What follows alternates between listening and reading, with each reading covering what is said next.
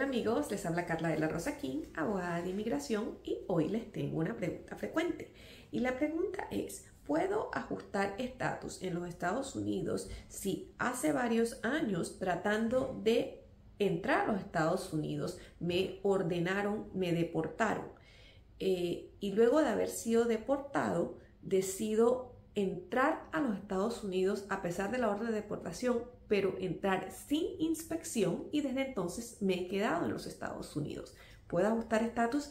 La respuesta a esta pregunta es no.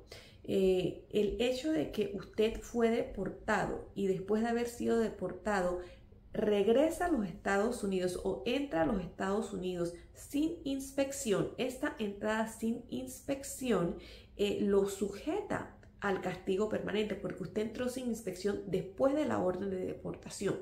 Entonces, esto lo sujeta al castigo permanente. El castigo permanente no es que usted no puede volver a los Estados Unidos más nunca, pero lo que la ley dice es que usted tiene que pasar por lo menos 10 años fuera de los Estados Unidos para poder volver a regresar. Eh, si usted pasa 10 años fuera de los Estados Unidos y usted desea regresar y usted tiene las bases para regresar, por ejemplo, tiene un esposo o una esposa ciudadana que le pueda hacer una petición y le hace la petición, usted podría volver a regresar, pero como usted estaba sujeto al castigo permanente, la ley le requiere que antes de regresar, si usted ya ha pasado sus 10 años fuera de los Estados Unidos, usted le toca aplicar para un permiso eh, para admisión a los Estados Unidos después de haber sido deportado o removido.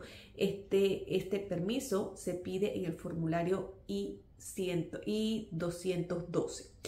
Entonces, este, si usted está en esta situación, usted tiene preguntas al respecto o usted está fuera de los Estados Unidos y ya ha cumplido sus 10 años fuera de los Estados Unidos y quisiera ver la posibilidad de poder regresar, eh, por favor eh, llámeme y programe una cita conmigo.